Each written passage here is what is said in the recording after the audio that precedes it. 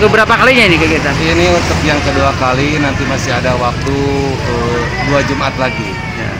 Nanti agenda Jumat yang ketiga dan keempat kita terus eh, roadshow ke daerah-daerah yang ada di wilayah Kecamatan India. Ya. Kalau untuk kali ini nih sasaran utamanya apa saja nih Pak?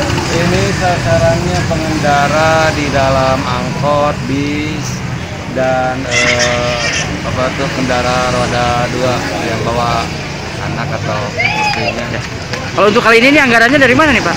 Ini yang ini kita bekerja sama dengan FIE Finance eh, dan donatur dari Partai Golkar. Di bulan puasa ini sebetulnya ini kegiatannya apa saja nih Pak? Eh, nanti untuk hari Minggu kita ada acara sambil ngabuburit tapi eh, bikin giat-giat hal-hal yang positif kita bekerja sama dengan Damkar Kota Tasikmalaya mengadakan istilahnya untuk pelatihan pemadam api ringan eh, atau eh, pelatihan-pelatihan untuk memadamkan api Yang dilibatkan dari mana saja tuh Pak?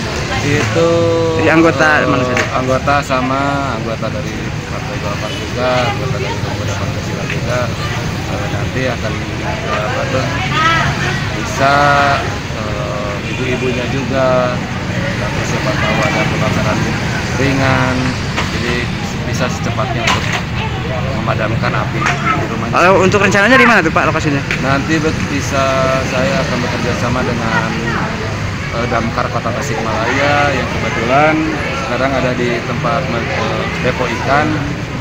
Kemarin udah eh, sawan dulu ke sana persiapan peralatan untuk di hari Minggu Minggu sore acara sambil ngabuburit.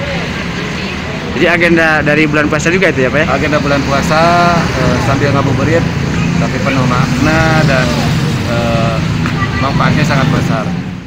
bagi-bagi tajil ini bagus ya ininya konsepnya jadi bisa menginspirasi banyak warga juga untuk melakukan hal yang sama apalagi sekarang bulan berkah buat buat yang bagi tajilnya berkah buat yang dibagi tajilnya. Mudah-mudahan program ini juga eh, bukan hanya sekarang berlanjut sampai ke depannya lagi. Jadi untuk membangun cita positif juga buat eh, PP ya yang kadang banyak di masyarakat beredar kalau PP itu arogan. Gawinnya cuma cuma demo aja tapi dengan begini kan membangun cita positif juga eh, bagus gitu. Jadi aja gitu. Jadi ada positifnya ada sisi positifnya